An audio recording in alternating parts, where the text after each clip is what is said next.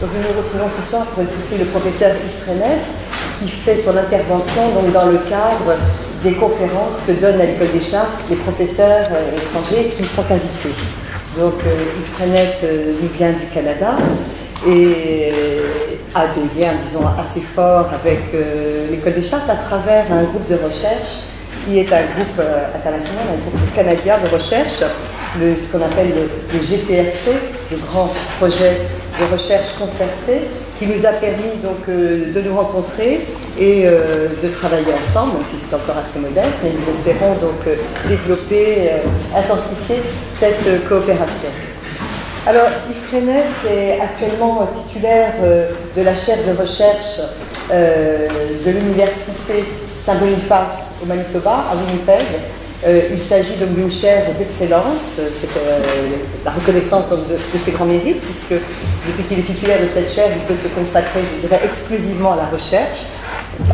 Et cette chaire, qui lui a été attribuée il y a très peu de temps, c'était donc l'année dernière, lui permet donc de développer ses recherches sur le thème des migrations, des transferts et des communautés francophones dans l'Amérique du Nord, et pas seulement, comme on va le voir. Alors, Yves a fait des études en, histoire, évidemment, euh, à l'université Carleton, mais aussi euh, à l'université Laval. Euh, ensuite, il a été en poste à Ottawa, où il a dirigé le Centre de recherche en civilisation canadienne française. Et il a aussi, bien sûr, été professeur dans cette université. Il est encore euh, aujourd'hui, euh, vous enseignez encore, si je ne me trompe, euh, comme professeur associé aux universités York et à Toronto et à l'université Laval à Québec. Alors, spécialiste de la francophonie nord-américaine et de l'histoire de l'immigration et des groupes ethniques, il a publié de nombreux livres, chapitres, il a dirigé de nombreux ouvrages, dont je ne vous en donnerai pas la liste, hein, ça se compte par, par centaines. Euh, je voudrais simplement mentionner donc ces tout derniers travaux, puisqu'il vient euh, de publier la classe historique de la francophonie nord-américaine, et il a actuellement sous presse, euh, la publication est prévue pour 2014, une histoire donc de l'Acadie, qui viendra compléter le travail qu'il a fait précédemment sur la Gaspésie. Alors, ces travaux se complètent aussi de la réalisation d'un site web tout à fait euh, passionnant, donc euh, intitulé Francophonie canadienne, identité culturelle, qui a reçu plusieurs prix. Et donc encore, on, on, félicite.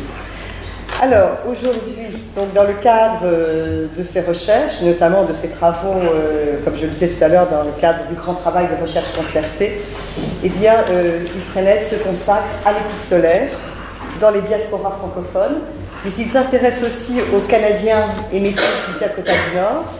Il travaille euh, aussi sur euh, l'immigration française au Canada et enfin sur l'immigration canadienne au Brésil. Vous voyez, il voyage beaucoup avec tous ces sujets. Et c'est euh, cette connaissance donc de toutes ces migrations lui a permis évidemment de fréquenter quantité de sources, quantité de fonds d'archives dans toute l'Amérique du Nord, en Europe aussi et maintenant en Amérique latine. Et c'est fort donc de tous ces savoirs qui nous donne ce soir euh, cette conférence sur faire l'histoire de l'Amérique française au XIXe siècle, sources, méthodes et problématiques. Yves, je vous cède la parole. Merci. Mon premier devoir, qui s'avère être aussi un grand plaisir, c'est de remercier l'École nationale des chartes, son directeur Jean-Michel Legnaud et particulièrement Christine Nougaret de m'avoir invité comme professeur étranger à partager avec les étudiants et avec vous le fruit de mes recherches et de mes réflexions sur l'histoire de l'Amérique française, que j'explore intellectuellement et physiquement depuis bientôt 35 ans. J'aime à penser qu'en me faisant cet honneur, l'école rend ainsi hommage à des générations d'historiens et d'archivistes qui m'ont précédé et qui ont souvent œuvré dans l'ombre. Il y a quelques jours, j'ai modifié quelque peu le titre de ma conférence. Elle s'intitule L'histoire de l'Amérique française, j'aurais dû vous prévenir, l'histoire de l'Amérique française entre 1763 et 1914, état de la question. On est quand même près de la thématique originale. L'Amérique française, dont je vous entretiens aujourd'hui, est limité dans l'espace au continent nord-américain. Ce n'est qu'accessoirement que je vais faire référence aux Antilles et je ne traite ni de l'Amérique du Sud ni de l'Amérique centrale, excluant même de mes propos cet entre-deux géographique qu'est le Mexique. Je le confesse d'emblée, à l'heure de l'histoire connectée, c'est une faiblesse de mon exposé. Je n'ai comme excuse que le poids du nombre des francophones qui favorise nettement le Canada et les États-Unis et le fait que je suis déjà fort occupé avec les groupes francophones de ces deux pays, français, africains, créoles, acadiens, anglo-normands, métis, canadiens-français, belges, suisses. À strictement parler, l'Amérique française n'existe plus à partir de 1763, lorsque la France se retire du continent nord-américain, ne conservant que des droits de pêche sur la côte ouest de Terre-Neuve et la possession des petites îles de Saint-Pierre et Miquelon dans le golfe Saint-Laurent. Dans un atlas historique récent élaboré avec deux collègues, et peut-être que je pourrais faire circuler en fait cet atlas, merci beaucoup.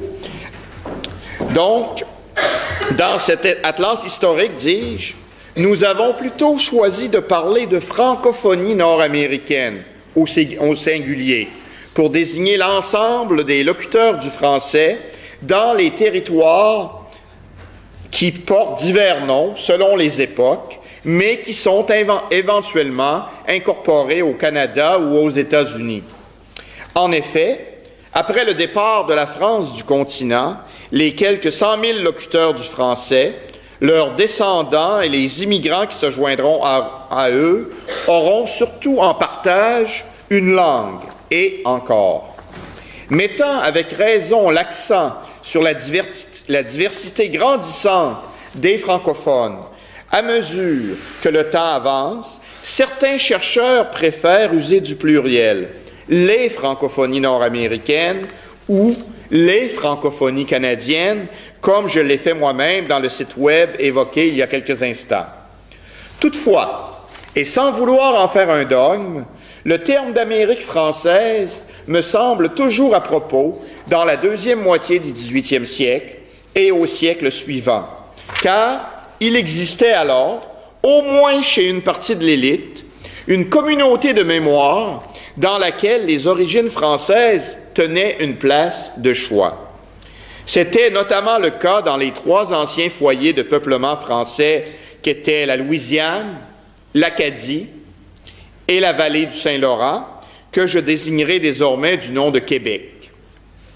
Là, le souvenir de la glorieuse Nouvelle-France donnerait lieu à un rêve de reconquête pacifique du Canada et d'une partie des États-Unis. Pour les apôtres de ce messianisme, l'existence d'une Amérique française justifiait l'avènement d'une nation culturelle canadienne-française qui dépassait largement, largement les frontières du Québec.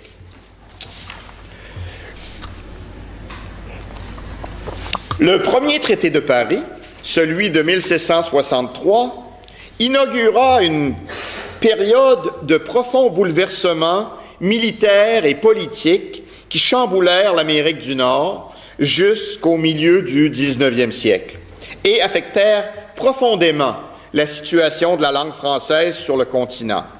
En effet, les soulèvements autochtones dans les territoires indiens entre 1763 et 1814 L'avènement des États-Unis comme nation indépendante de 1776 à 1783, l'acquisition de la Louisiane par les États-Unis en 1803, la guerre anglo-américaine de 1812-1815, les réaménagements des frontières entre les colonies britanniques, le futur Canada, et les États-Unis pendant la première moitié du 19e siècle, furent autant d'événements qui privèrent la langue française de sa légitimité sur le continent.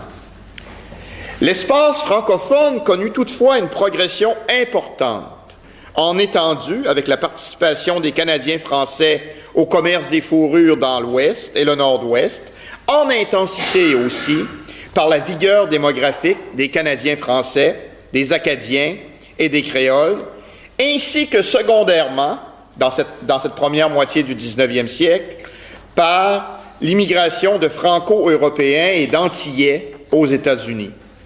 Cette expansion géographique était aussi liée à une tradition de mobilité locale, régionale et continentale héritée de la Nouvelle-France.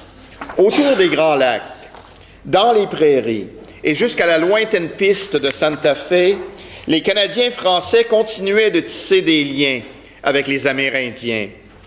L'intensité des échanges de tout ordre fut telle qu'on assista à un processus d'ethnogénèse, la naissance du peuple métis, sur lequel je reviendrai, le peuple métis qui contribua de façon marquée à l'empreinte du fait francophone sur le continent.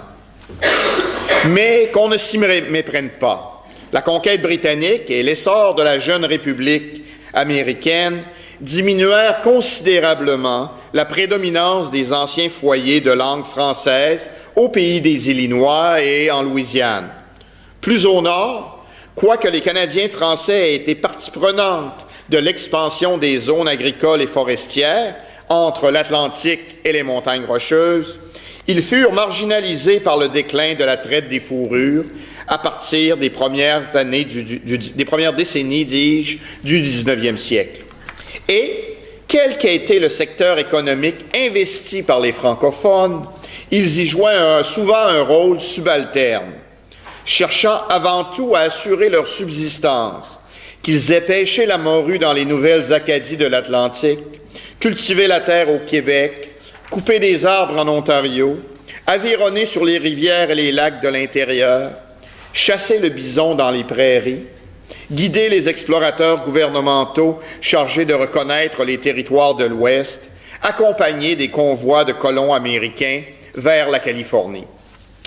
Dans ce contexte, la migration servait généralement de stratégie économique, le repli sur la famille de stratégie sociale et le développement institutionnel de stratégie culturelle. Car, partout, mais à des degrés divers, à des, rythmes, des degrés et des rythmes divers, l'anglais s'imposait comme lingua franca.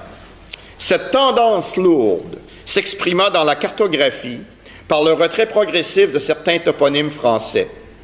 Jusqu'à un certain point, la géographie culturelle de l'Amérique du Nord devint étrangère aux francophones entre 1763 et 1860. À partir de ce moment, et jusqu'à la Première Guerre mondiale, les populations francophones connurent une forte croissance qui s'accompagnait d'une progression de l'écoumène, même si, à l'exception du Québec, la population anglophone était devenue majoritaire, comme je le disais il y a un instant, et, de plus en plus, résolument hégémonique. Cette pérennité du fait français tenait pour une part à la, vitalité, démographique des francophones qui continuait dans cette seconde moitié du 19e siècle et au début du 20e siècle. Francophones qui bénéficiaient le plus souvent d'un indice de fécondité supérieur à celui des anglophones, un phénomène que les contemporains qualifièrent de revanche des berceaux.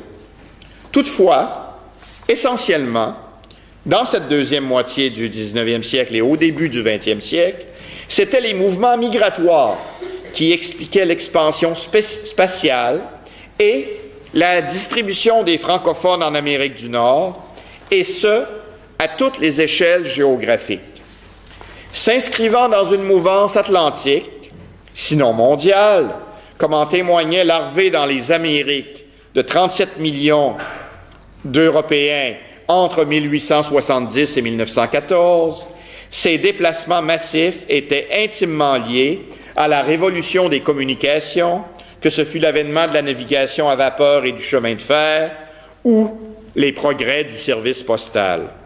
Parallèlement, à des rythmes variables, l'industrialisation et l'urbanisation eurent un grand impact, même dans les régions les plus éloignées des villes. Il en résulta une intensification sans précédent de la mobilité géographique des francophones sur le continent. En Acadie, au Québec et en Louisiane, on quittait les vieilles zones de peuplement pour s'établir dans de nouveaux lieux, dans les campagnes, dans les villages en croissance et dans les villes.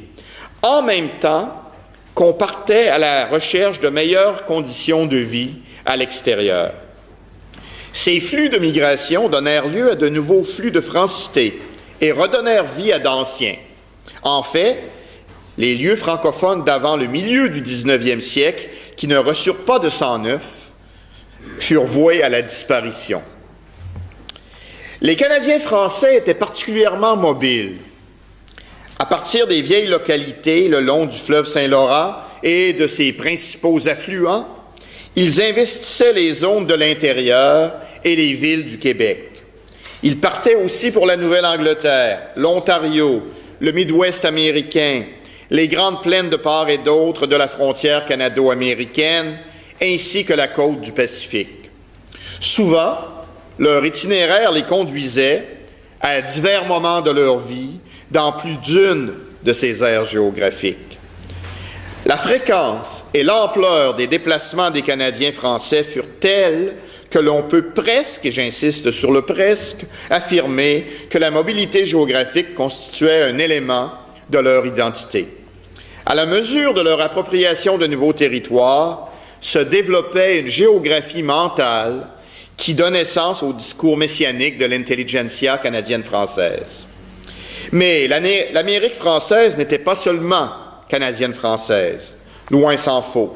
Les Acadiens, les Anglo-Normands, les Créoles louisianais, les anciens esclaves francisés en Louisiane, les, les Cadiens, les Métis, les Français, les Wallons, les Suisses romans contribuaient tous à sa diversité culturelle. Certaines zones, au premier chef la Louisiane et les prairies canadiennes, devinrent de véritables creusets où les interactions entre groupes francophones se faisaient tour à tour et parfois simultanément à l'aune de la coopération et du conflit. Dans presque toutes les communautés, une intelligentsia, qui, il faut le préciser, représentait seulement une partie de l'élite, mit sur pied des entreprises de peuplement et créa un réseau institutionnel. Chez les Acadiens, chez les Canadiens français, chez les Belges, et chez les Français de l'Ouest canadien, l'Église catholique occupait une place centrale. De la paroisse fusaient une série d'institutions, écoles, sociétés de secours mutuels, hôpitaux, orphelinats, coopératives, qui encadraient les migrants dans le quotidien, à la ville comme à la campagne. Il reste que, à l'extérieur du Québec, les francophones devenaient minoritaires.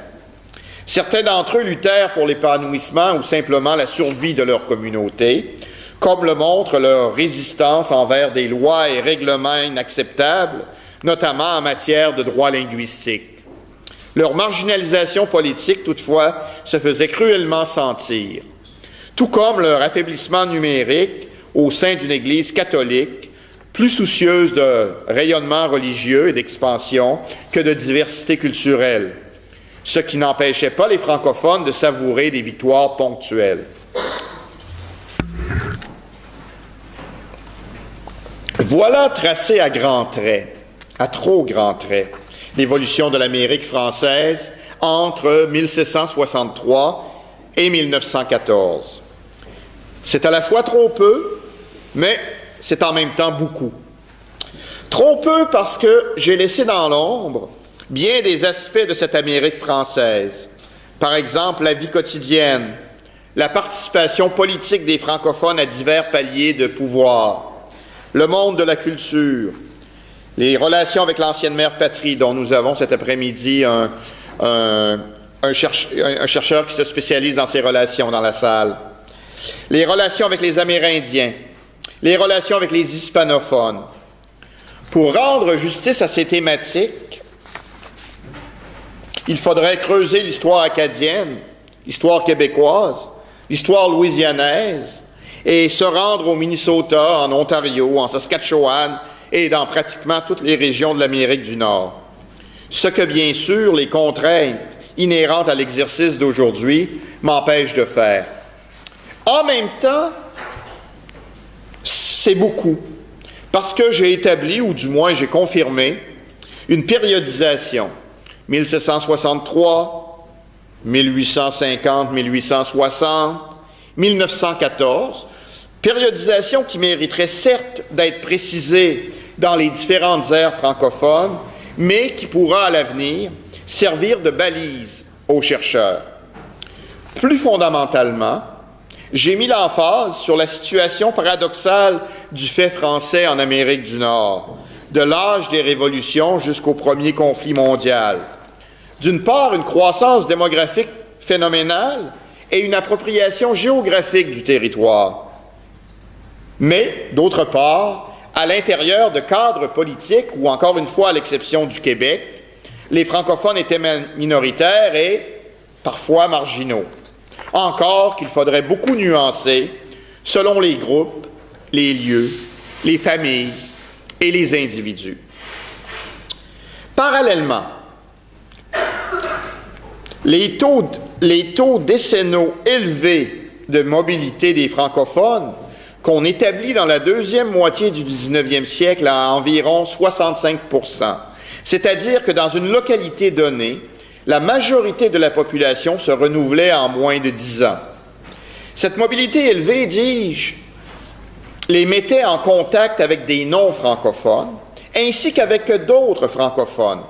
Ce qui était susceptible, ou quand je dis d'autres francophones, je veux dire des francophones d'autres groupes que le leur.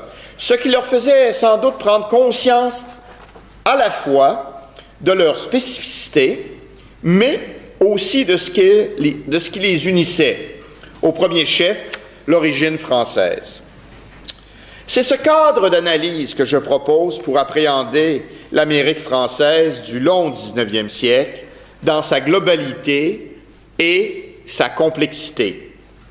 À ma connaissance, c'est la première fois qu'un historien propose une problématique pour rendre compte de l'expérience des francophones d'Amérique ou je devrais préciser de tous les francophones d'Amérique à cette époque.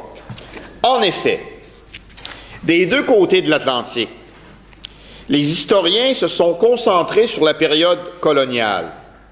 En France, comme l'a montré Gilles les récits sur la Nouvelle-France de la fin du 19e et du début du 20e siècle étaient liés au mouvement de glorification nationaliste et colonialiste visant à effacer la, les traumatismes de la perte de l'Alsace-Lorraine et l'épisode de la Commune de Paris, et à asseoir la Troisième République qui se construisait à travers l'institution scolaire et l'expansion coloniale. En étudiant l'œuvre de la France en Amérique, les historiens français du début du 20e siècle, je pense ici en particulier à Gabriel Anotto, voulaient démontrer comment la race française était apte à la colonisation, à la mission civilisatrice. Pour eux, l'épopée coloniale contemporaine de la fin du 19e siècle et du début du 20e siècle et les aventures expansionnistes de l'Ancien Régime se situaient sur le même continuum historique. Même si elle avait été conquise par l'Angleterre et de ce fait représentait un échec, la Nouvelle-France pouvait et devait servir de leçon et je cite, afin que pareille faute ne recommence pas dans notre œuvre coloniale.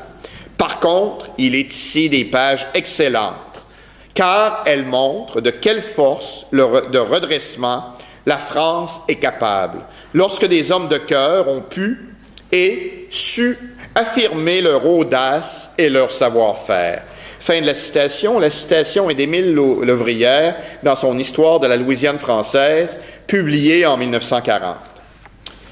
La perspective des historiens français était donc résolument métropolitaine, la colonisation de l'Amérique y étant étudiée en fonction de projets de la monarchie. Y était absente une réflexion sur la constitution des sociétés coloniales et leur caractère particulier. Au Québec, à la même époque, les historiens étaient des membres du clergé catholique et des professions libérales qui percevaient leur société comme ayant été conquise et colonisée par une culture étrangère à la leur, la culture britannique. Ces nostalgiques du régime français trouvaient un réconfort dans le passé idyllique d'avant la conquête britannique. Deux auteurs aussi différents que le libéral François-Xavier Garneau et le chanoine Lionel Gros mettaient en opposition dans leurs œuvres de brillantes descriptions de la Nouvelle-France et de sombres tableaux des premiers jours de la domination anglaise. Le Québec, dans lequel se mouvaient les intellectuels de la période 1860-1930, faisait l'expérience de l'industrialisation et de l'urbanisation. Inquiets de l'impact de ces phénomènes sur le petit peuple, ils insistaient sur la nature pastorale, agricole de la Nouvelle-France et reléguaient dans l'ombre ses caractéristiques commerciales. Comme leurs homologues français, le passé et le présent ne faisaient qu'un.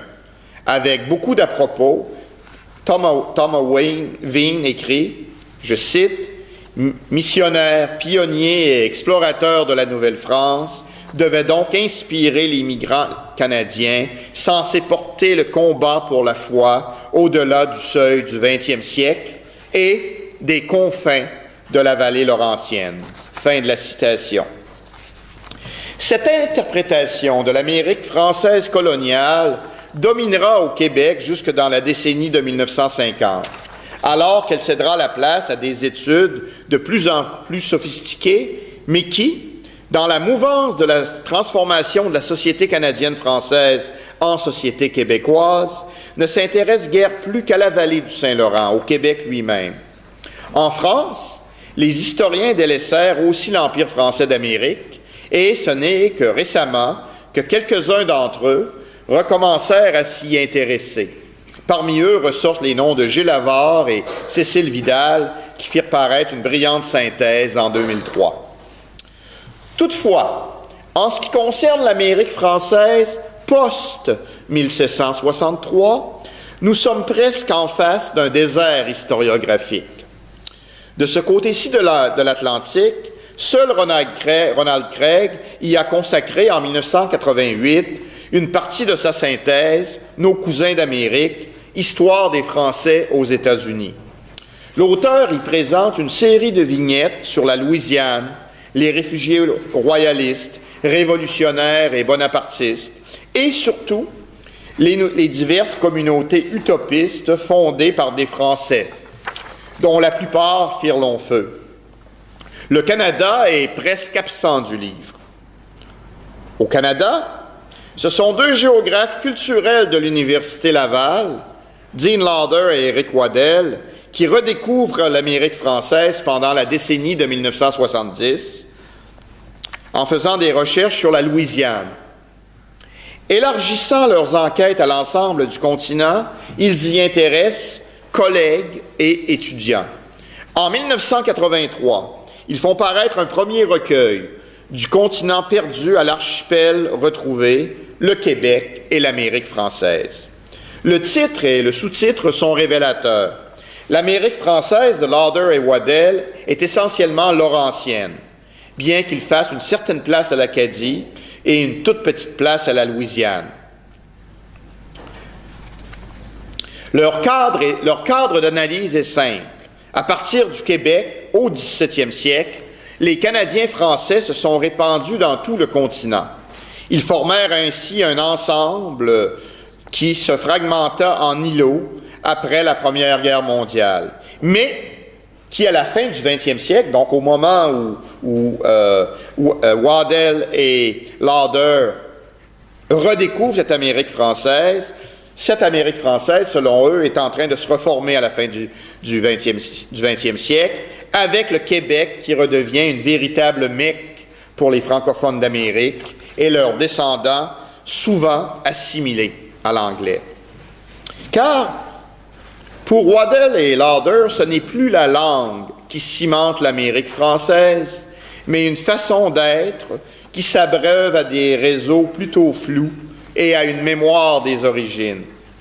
Bien qu'ils s'en seraient défendus, Lauder et Waddell promouvait une version remaniée du messianisme canadien-français de jadis, moins clérical, certes, mais beaucoup plus romantique et même poétique. Pendant 30 ans, les deux géographes lavallois n'ont cesse d'arpenter le Canada et les États-Unis à la recherche des francogènes, c'est-à-dire des descendants de francophones, qu'ils soient francophones ou anglophones, qu'ils vivent ou non dans des communautés de langue française. À force de pérégriner et sous l'influence de certains de leurs disciples et aussi de leurs critiques, ils prennent conscience de la diversité franco-américaine au sens large du terme, du poids culturel des Antilles dans la constitution de la francophonie nord-américaine et de l'existence de la créolité. Au début du, du, 21e, siècle, leur Amérique française devient une Franco-Amérique, comme l'indique le titre de leurs deux derniers ouvrages, Vision et visage de la Franco-Amérique en 2001 et simplement Franco-Amérique en 2008. Mais en 1983, comme en 2008, les, grands absents continuent d'être les migrants franco-européens qui, depuis la fin du 18e siècle, se sont établis temporairement ou en permanence en Amérique du Nord, surtout aux États-Unis. Comme Craig, Lauder et Waddell font péché d'omission, sauf que l'omission est inversée dans leur cas. On aurait tort cependant de leur jeter la pierre. Leurs travaux, ainsi que ceux de leurs collaborateurs, ont ouvert des pistes et, dans certains cas, ils reposent sur de solides bases empiriques. Marc Saint-Hilaire et moi-même n'aurions jamais pu concevoir le projet d'Atlas historique sans le travail de ses prédécesseurs. Cet Atlas, il n'aurait pas non plus vu le jour si nos collaborateurs et nous-mêmes n'avions pu nous appuyer sur les recherches riches et nombreuses qui, dans les 40 dernières années, ont renouvelé en profondeur notre connaissance des, des aires francophones du continent, ce qui contraste de façon marquée avec la quasi-absence de travaux sur l'ensemble de l'Amérique française. Ainsi, n'est-il guère d'aspect de l'histoire du Québec qui n'ait fait l'objet de révisions répétées et de débats vigoureux, que ce fut sur la nature du monde rural, l'industrialisation, l'urbanisation, le rôle de la femme, la place du catholicisme, les relations interethniques, pour n'en énumérer que quelques-uns. Dans un premier temps, ce renouvellement historiographique fut restreint au territoire même de la province. Mais, à partir des années 1990, un petit groupe d'historiens porta son regard sur le Canada français hors frontières. Toutes ces recherches ont relégué aux oubliettes l'image d'un monde rural canadien-français immobile au sein duquel le changement s'effectuait à pas très lents. Pour la première fois, l'historiographie présenta les pionniers venus de France au XVIIe siècle comme des migrants pour qui la traversée de l'Atlantique ne constituait pas la première expérience de mobilité et dont les deux tiers rentrèrent en métropole après un séjour dans la colonie. À l'origine soldats, apprentis et ouvriers agricoles, les migrants français qui persistèrent se transformèrent en paysans et leurs enfants devinrent des cultivateurs des agriculteurs compétents pratiquant une agriculture extensive sur des terres productives parce que nouvellement exploitées. Dans cette société en formation, la famille, comme ailleurs en Occident, constituait la cellule sociale et économique de base. Déjà, elle avait été l'élément décisif dans le mouvement transatlantique.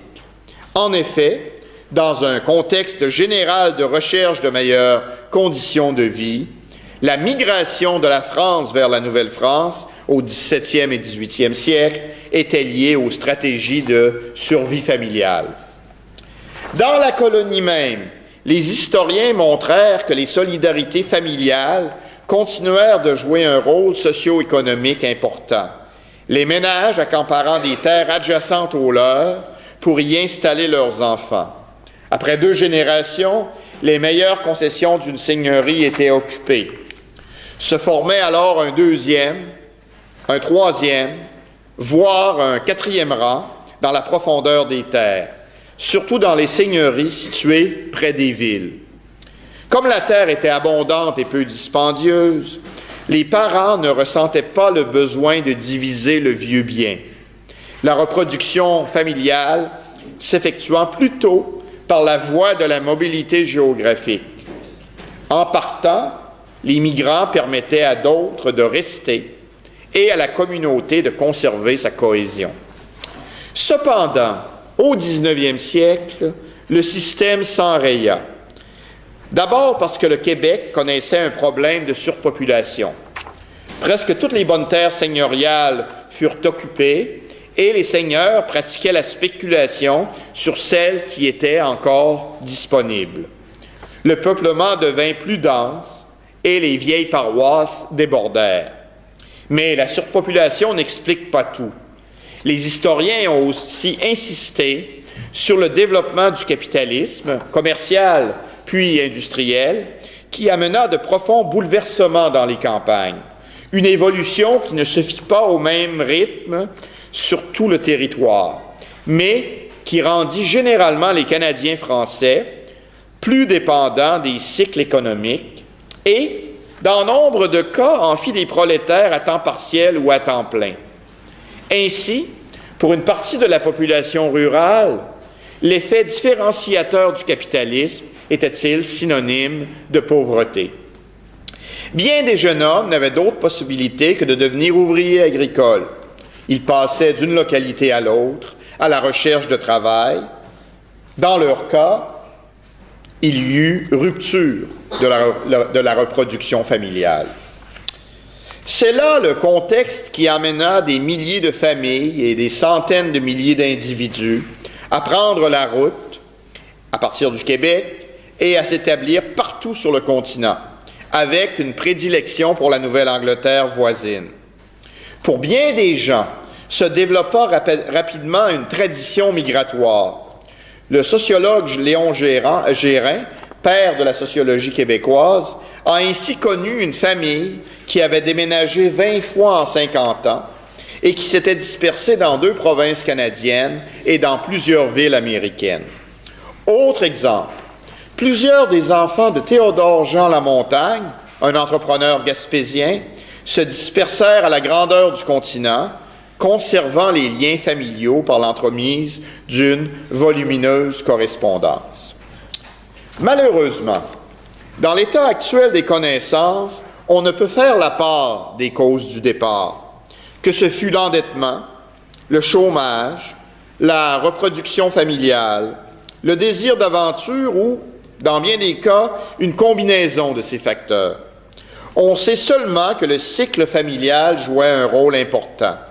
Ainsi, et je ne donnerai qu'un exemple, les couples déménageaient dans les nouvelles zones de colonisation au moment de fonder une famille et quittaient celle-ci pour les villes, notamment les centres textiles de la Nouvelle-Angleterre, lorsque plusieurs enfants étaient en âge de travailler. En contexte de migration accrue, c'était la famille qui, comme dès les, origines de la Nouvelle-France, faisait le lien entre les diverses destinations et la région d'origine. Les réseaux migratoires reliant deux ou plusieurs parties du Canada français en expansion. Les migrants de l'État du Maine provenaient ainsi en grande partie de la Beauce québécoise, alors qu'un fort contingent de l'État du Rhode Island était originaire de la région de Berthier, pas très loin de Montréal. En Ontario, les Canadiens français de, Toronto venaient pour la plupart de Trois-Rivières et ceux de l'est de la province des comtés québécois avoisinants. C'est qu'après avoir fait tache d'huile dans une aire géographique québécoise, les réseaux de parenté s'étendaient ailleurs au Canada et aux États-Unis. L'appartenance à de tels réseaux permettait aux ménages et aux individus de se mouvoir d'un endroit à l'autre, assurés qu'ils étaient d'y trouver soutien et sociabilité. Comme l'a écrit il y a déjà longtemps le géographe Christian Morisonneau, je cite, La famille, la parenté, intègre l'individu où qu'il aille, invitation à partir sans dépaysement trop grand, car on demeure en famille, c'est-à-dire entre soi, même quand on est chez les autres. Fin de la citation. Et, comme l'ont montré plusieurs études, notamment celle de la regrettée Tamara Hareven, dans les villes, le soutien mutuel était particulièrement manifeste au travail, où les réseaux de parenté faisaient souvent office d'agences de placement et d'initiateurs au monde industriel. Cela représentait une sécurité matérielle dans un système où le procès de production requérait la coopération. La présence de parents en plusieurs lieux du champ migratoire agissait aussi comme backup système. On pouvait plus aisément se déplacer quand on savait que d'autres restaient pour s'occuper de la ferme ou des vieux parents. Et, malgré cette grande mobilité géographique, les communautés canadiennes françaises des villes québécoises ou de la diaspora demeuraient stables grâce à certains noyaux familiaux qui, comme à l'époque de la Nouvelle-France, montraient un remarquable degré de sédentarité et étaient au premier rang pour bâtir les institutions et assurer la reproduction communautaire.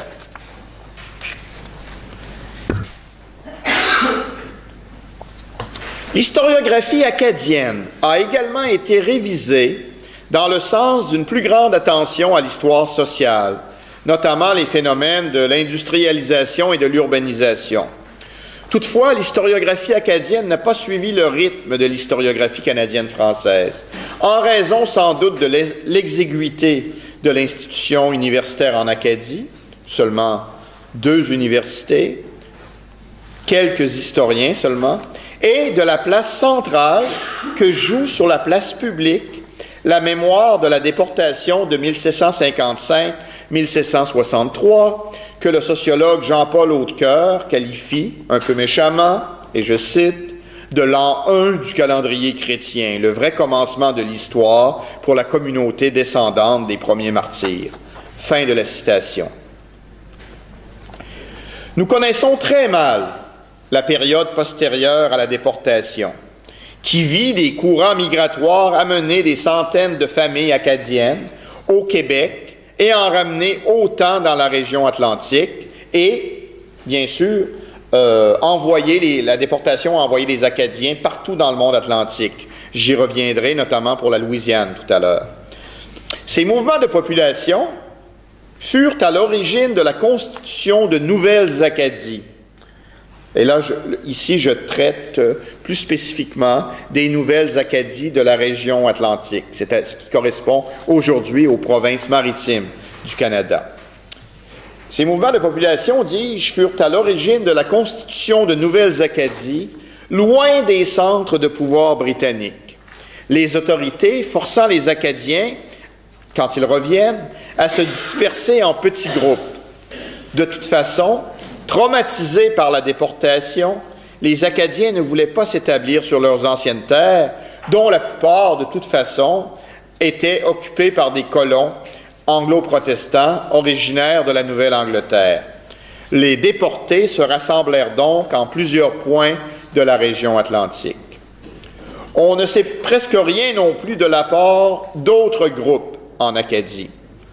Comme avant la déportation, des Amérindiens et des Britanniques se joignirent aux Acadiens. Des personnes de diverses sources vinrent aussi alimenter le fait français dans les provinces atlantiques. Par exemple, un peu partout dans le golfe Saint-Laurent, des, Jersiais et des Guernesiais protestants s'acadianisèrent, épousant des, Acadiennes, se, convertissant au catholicisme et troquant leur patois anglo-normand pour le français acadien. En outre, de nombreux Canadiens français migrèrent au Nouveau-Brunswick, donc en Acadie, particulièrement dans les régions frontalières du nord et du nord-ouest de la province. Parallèlement, la présence de prêtres du Québec contribua de façon marquée à la construction des nouvelles Acadies, quoique les Canadiens français et les Acadiens aient été porteurs de cultures distinctes, même s'ils partageaient une religion et une langue. Certaines communautés acadiennes accueillirent également des réfugiés de la Révolution française et de la France napoléonienne, en petit nombre. Plus tard, ce furent des réfugiés et des déserteurs fuyant les navires de pêche français qui s'intégrèrent aux populations acadiennes du Cap-Breton et des îles de la Madeleine, comme en témoigne la tradition orale. Toutefois, ce fut sur la côte ouest de Terre-Neuve qui en reçut le plus grand nombre, puisque la France y avait conservé un droit de pêche jusqu'en 1904. Des milliers, de, des milliers de, marins et de pêcheurs bretons partaient chaque année pour Terre-Neuve et Saint-Pierre et Miquelon. Les conditions difficiles sur les bateaux, notamment pour les mousses, incitèrent certains à déserter et à se cacher dans les bois. D'autres, leur service terminé, revers s'établir dans la péninsule de Port-au-Port, où ils se mêlèrent aux Acadiens et formèrent une culture originale. Les nouvelles Acadies étaient en général peu propices à l'agriculture, et les familles devaient tirer de la mer une bonne part de leur subsistance, la seule ressource exportable y étant souvent la morue séchée. L'agriculture perdit donc la place prépondérante qu'elle avait avant la déportation dans les, vallées très fertiles de l'ancienne Acadie. À certains endroits, on continua à pratiquer l'agriculture après la déportation, mais c'était en complémentarité à d'autres activités. Bien les Acadiens devaient pratiquer plus d'un métier pour subsister, chaque saison amenait ses activités, mais aussi son lot de misère. La deuxième moitié du 19e siècle et les premières décennies du 20e siècle sont, sont connues comme la période de la Renaissance acadienne. Renaissance qui a été davantage étudiée par historiens et sociologues. On trace les origines de cette Renaissance dans la croissance démographique accompagné d'un développement économique fondé sur l'industrie et une plus grande commercialisation des activités agricoles et halieutiques qui contribua à l'émergence d'une élite capable de promouvoir les traits culturels acadiens et de les affirmer sur la place publique, surtout au Nouveau-Brunswick où, où résidaient désormais la majorité des Acadiens. Très influencé par l'idée de relèvement national de l'historien français Edme Rameau de Saint-Père et par la, résurrection mémorielle de la déportation, avec la traduction par le poète canadien Pamphile Lemay en 1865 du poème épique de l'américain Longfellow Evangeline, A Tale of Acadia, l'intelligentsia acadienne naissante s'appuya sur les structures traditionnelles de sociabilité pour mobiliser la population afin de mettre sur pied des institutions, revendiquer des droits et élever ce groupe minoritaire dispersé au rang de nation. Après avoir revendiqué la francisation du clergé et structuré un réseau de paroisses, l'élite réussit à acadianiser la direction régionale de l'Église catholique et à se doter d'institutions, principalement des collèges et des couvents, capables d'assumer la reproduction de cet univers. À partir de 1881, l'élite laïque et cléricale acadienne définit la nation acadienne lors de grandes conventions auxquelles participaient des milliers de personnes. Elle choisit ainsi le 15 août jour de l'Assomption, comme date de la fête nationale des Acadiens, et elle créa la Société nationale L'Assomption, qui devint l'organisme de défense des droits de ce peuple. Elle se donna aussi un hymne national, l'Ave Maristella, et un drapeau, le tricolore étoilé, plutôt que d'adopter les symboles canadiens-français comme certains le souhaitaient. En outre, elle fit de Moncton, ville à majorité anglo-protestante, la capitale de l'Acadie. Toutes ces actions visaient à créer, puis à préserver l'identité acadienne, dont la mémoire de la déportation, la religion catholique et la langue française représentaient les trois éléments centraux. Comme les Canadiens français, mais en proportion moins importante, les Acadiens immigrèrent. Mais leur migration à l'extérieur de l'Acadie fut davantage localisée. Entre 1870 et 1940, ils auraient été plus de 30 000 à prendre la route des États ou de l'Amérique. Au début, il s'agissait surtout de pêcheurs du Cap-Breton venus chercher fortune sur les côtes de la Nouvelle-Angleterre. La majorité revint en Acadie, mais certains s'établirent à demeure au Massachusetts et s'américanisèrent, comme en fait foi l'anglicisation de leur nom de famille. Ces pêcheurs furent bientôt suivis par d'autres migrants acadiens qui travaillaient sur les chantiers de construction, dans les manufactures et dans les forêts de la Nouvelle-Angleterre. Ils provenaient des trois provinces maritimes et s'établirent surtout au Massachusetts et au Maine, où naquirent de petites colonies acadiennes dont on ne sait pas grand-chose.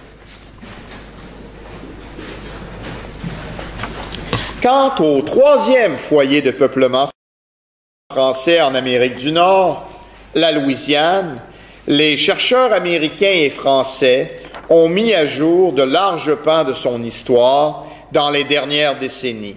Encore une fois, c'est la période coloniale qui a surtout retenu l'attention, mais certains de ces chercheurs ont ouvert des chantiers prometteurs sur l'esclavage, l'arrivée des Acadiens et, leur transformation en Cadiens, les relations raciales et l'américanisation euh, à partir de, de l'État à partir de 1803. Toutefois, il reste encore beaucoup à faire. En 1763, comme l'a écrit Cécile Vidal, la Louisiane se caractérisait par la présence de trois groupes.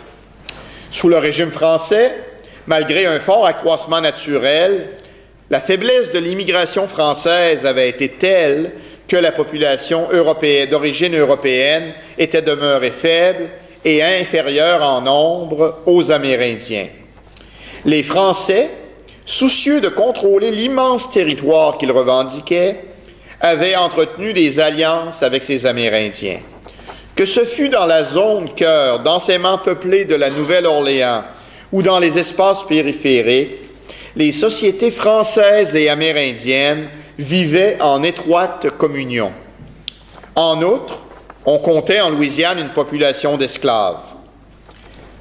De, de la sorte, la colonie constituait une synthèse entre le Canada et les Antilles, entre un monde franco-amérindien et un monde franco-africain.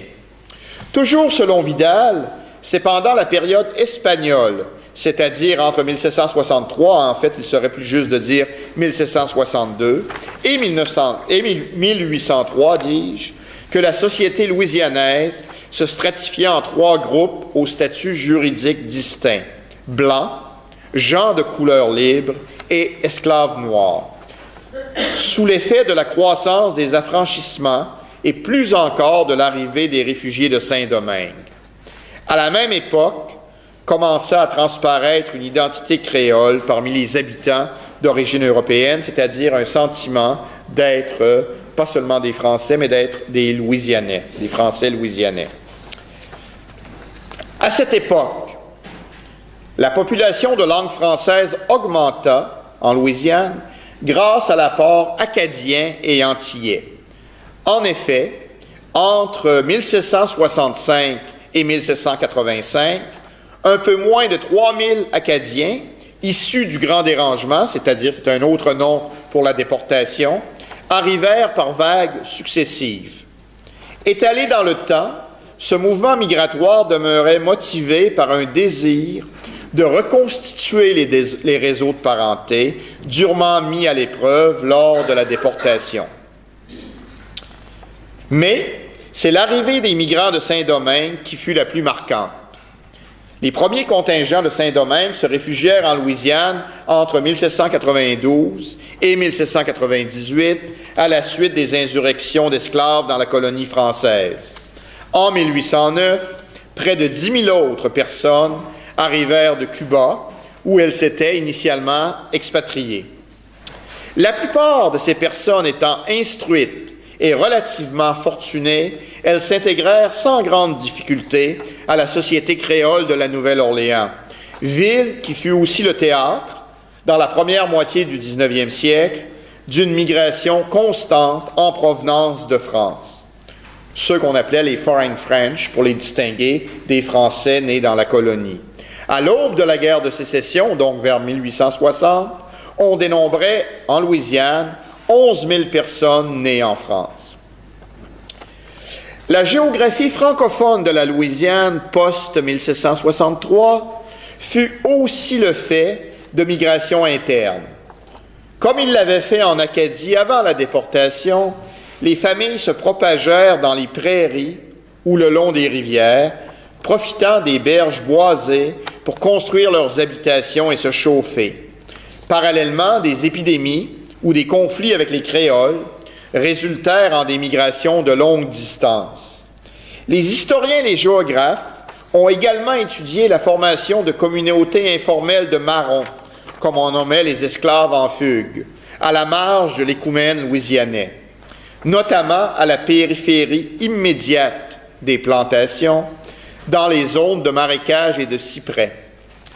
La proximité leur permettait à ces anciens esclaves, de, ces esclaves en fuite, de s'approvisionner grâce à des incursions dans les plantations et la présence de scieries de cyprès leur donnait du travail.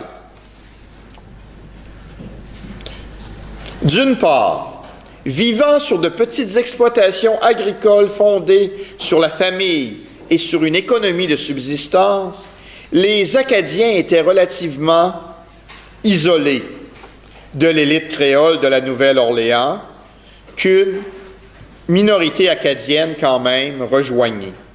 D'autre part, selon des processus qu'on connaît plutôt mal, émergea une culture cadienne.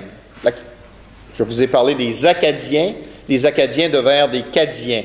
Émergea une culture cadienne fruit d'un métissage entre les, Acadiens, les petits habitants blancs, c'est-à-dire les Blancs louisianais qui avaient peu ou pas d'esclaves, les gens libres de couleur, les Amérindiens et les esclaves africains. C'est que dans les campagnes, la marginalité socio-économique était étroitement associée à l'identité cadienne. Par contre, dans les villes, une anglicisation avait cours.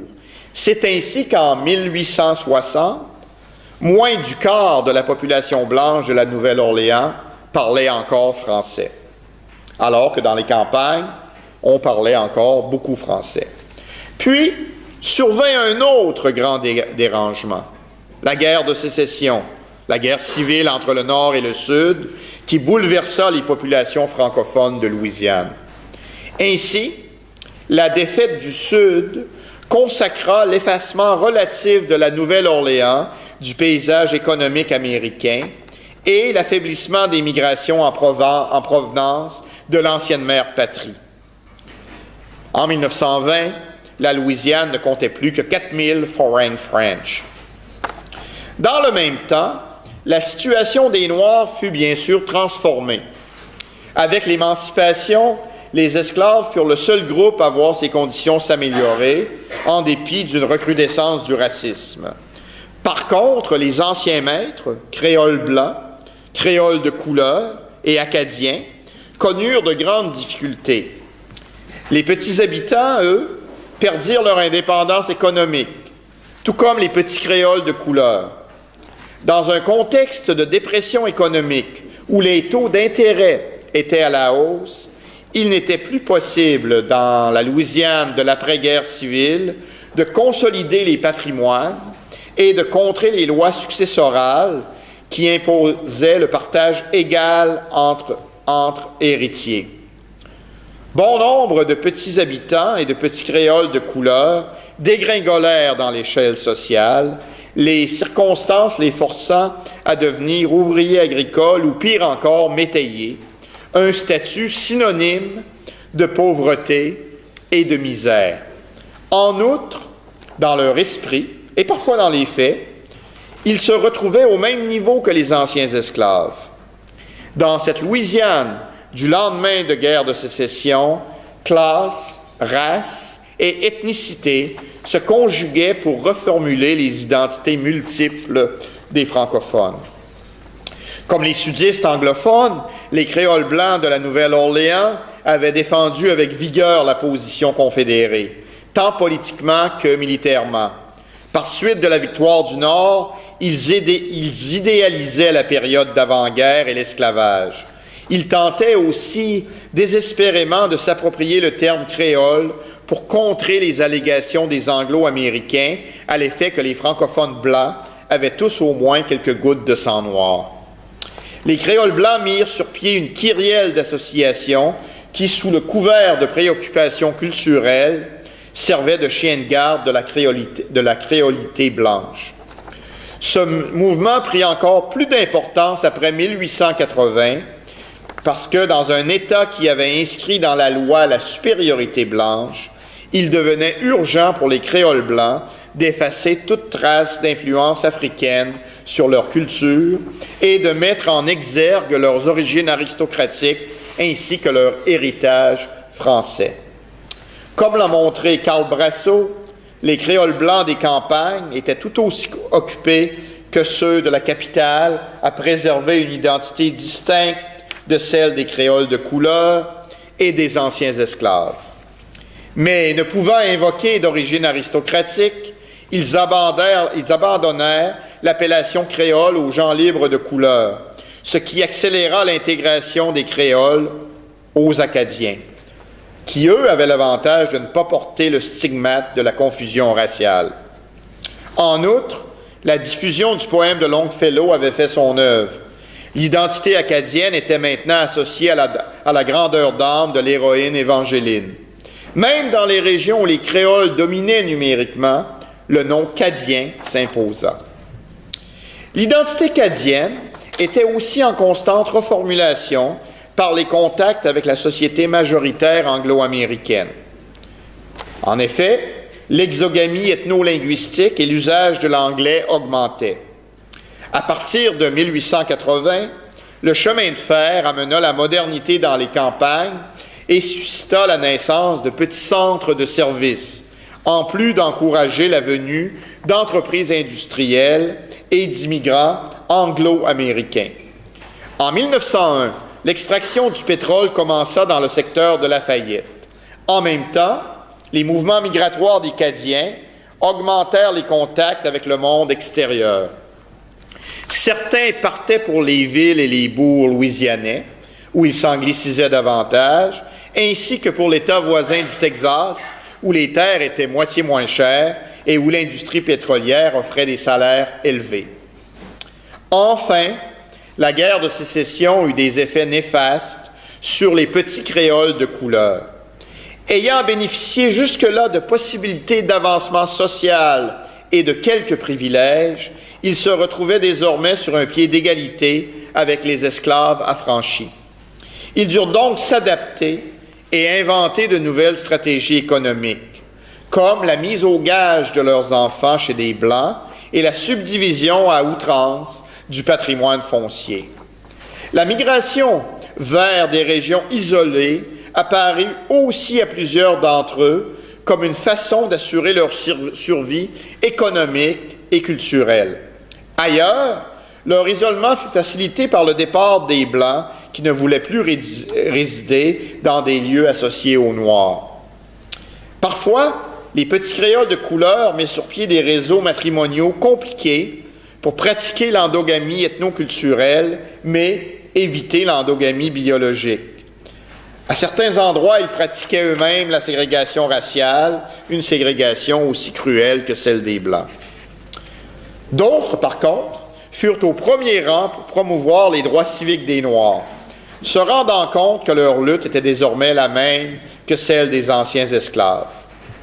En raison de leur éducation et de leur expérience, et aussi de la tradition politique française, ils étaient plus aptes que les anciens esclaves à l'action politique.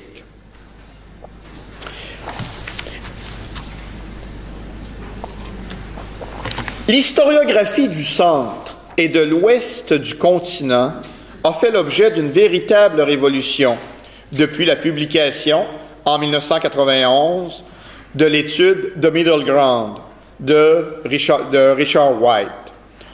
On l'a traduit parfois par, euh, euh, en français par le terme Empire du milieu, qui fait un petit peu trop euh, Star Wars ou Star Trek. En fait, et je pense que dans la traduction du livre, si je me souviens bien, on n'a même pas essayé de, de, traduire Middle Ground. Le livre a été traduit en français, ça s'appelle Le Middle Ground. Dans cette foulée, dans la foulée du livre de White, l'essor de la recherche a été tel que certains parlent maintenant de la redécouverte, ou de la découverte plutôt, d'une époque oubliée de l'évolution des États-Unis, l'époque créole ou métisse entre 1770-80 et 1860. On parle d'époque créole ou métisse selon les auteurs et les lieux qu'ils étudient. Ce territoire du Middle Ground et de l'intérieur du continent était un territoire modulé par le commerce des fourrures et d'autres produits, ainsi que par les interactions entre Amérindiens et Européens, au premier chef des Canadiens français et des Français, qui étaient souvent des semi-nomades parcourant de grandes distances. Les Canadiens français y reproduisirent dans cet espace, en les adaptant, les traditions, les traditions culturelles du Québec. Je donne quelques exemples. Longue bande de terre donnant sur un cours d'eau, maison de style normand, folklore riche qui plongeait ses racines dans la France médiévale. En même temps, l'étroit contact avec les Amérindiens favorisait les unions mixtes, les fameux mariages à la mode du pays, c'est le terme qu'on utilisait. Dans le nord-ouest, c'est-à-dire ce qui correspond aujourd'hui aux provinces des prairies canadiennes, en débordant un petit peu vers les, aux, États-Unis, l'ampleur et l'intensité du métissage fut telle qu'il donna naissance, autour de 1815, à la nouvelle nation, avec majuscule, ou le peuple des bois brûlés, du nom dont commencèrent à se désigner les métis. Les études métisses elles-mêmes ont connu une renaissance appréciable au cours des dernières décennies. Au Canada, l'enchassement des droits des métis en tant que peuple autochtone dans l'acte constitutionnel de 1982 a alimenté l'intérêt des chercheurs pour ce domaine. Attachés à comprendre et à documenter les manières par lesquelles les populations métisses ont développé une conscience territoriale, les spécialistes ont élaboré de nouveaux cadres méthodologiques et théoriques. Les historiennes Jennifer Brown et Jacqueline Peterson peuvent être considérées comme les principales pionnières en la matière. Bien que Brown se soit avant tout concentrée sur les réalités métisses propres à la Compagnie de la baie d'Hudson, qui faisait surtout appel à des engagés écossais, elle fit tout de même des parallèles très pertinents avec la Compagnie du Nord-Ouest et ses engagés canadiens-français, dont les enfants d'ascendance mixte furent les premiers à adopter une identité collective distincte. Pour sa part, Peterson débroussailla le terrain pour ceux qui, à sa suite, portèrent leur dévolu sur le phénomène métis autour des Grands Lacs. les successeurs de Brown et Peterson mirent en évidence que l'avènement de communautés métisses distinctes reposait sur le développement d'une niche de niche spécifiques, fussent-elles socio-économiques, socio-culturelles, sociopolitiques ou une combinaison de ces trois dimensions. Intermédiaires culturels, comme interprètes notamment, ou économiques. Les descendants d'Européens et d'Amérindiennes, les Métis, surent s'imposer dans la traite des fourrures, puis le commerce des peaux de bison. Leur rôle s'exprimait spatialement par les lieux de peuplement métis, d'ordinaire situés à des points stratégiques, notamment au confluent de deux cours d'eau. Vers 1830, on estimait à près de 15 000 le nombre des métis qui étaient dispersés au sud et à l'ouest des Grands Lacs, dans un réseau étendu d'une cinquantaine de villages liés économiquement et socialement aux vieux postes de Détroit et de Michilimackina. S'y ajoutaient quelques milliers de métis dans le Bas-Missouri, dans leur cas davantage associés à la traite de Saint-Louis. Cette position des métis dans la traite des fourrures représentait un grand avantage économique pour l'élite francophone urbaine et commerçante, qu'elle fût canadienne, française ou française. Cette élite mit en place de véritables empires familiaux qui se maintenèrent sur, qui maintenèrent sur plusieurs générations. Les empires familiaux des Campos de Détroit, une famille canadienne-française, et des Chouteaux de Saint-Louis, une famille française, étant les plus connus grâce aux remarquables travaux de Jay Gitlin. Ces marchands composèrent assez bien avec l'expansion euro-américaine vers l'ouest et la transition vers une économie agricole, réinvestissant les profits de la traite au milieu du 19e siècle dans le marché foncier et dans les compagnies de chemin de fer. L'intermédiarité apparaît donc comme le principal facteur de l'ethnogénèse métisse, mais il faut aussi tenir compte du contexte démographique et politique. Ainsi, aux États-Unis, le rythme accru, rapide du peuplement euro-américain relégua assez rapidement les Métis aux confins du territoire habité, où une partie d'entre eux rejoignit, après 1850, les Amérindiens sur des réserves, pendant que dans l'ouest du Canada, la relative absence d'une population blanche avant la fin du 19e siècle favorisa l'expansion géographique des Métis, ainsi que l'éclosion d'un sentiment national qui conduisit à deux soulèvements populaires en 1869 et en 1885, soulèvements dirigés par le charismatique Louis Riel. À partir de la pendaison de Riel en 85, les Métis du Nord-Ouest connurent le même sort que leurs cousins des États-Unis, une génération plus tôt. Certains devinrent squatteurs près des... Euh, certains s'indianisèrent, certains se blanchirent, beaucoup d'autres deviendraient des squatteurs près des réserves amérindiennes ou des villages euro-canadiens, vivant de petits boulots saisonniers ou du fret, de la pêche, de la chasse et de la trappe.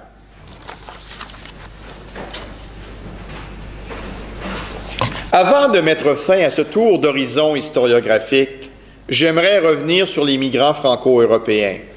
Ces derniers n'ont pas laissé d'empreinte territoriale aussi profonde que les autres groupes francophones, quoique leur présence puisse être associée à certaines régions nord-américaines. Je pense au, au, Wisconsin pour les Belges, par exemple. En dépit des recherches novatrices de plusieurs chercheurs, dont certains sont dans cette salle, On peut évoquer à l'égard des Franco-Européens l'adage populaire plus on les connaît, plus on se rend compte qu'on ne les connaît pas.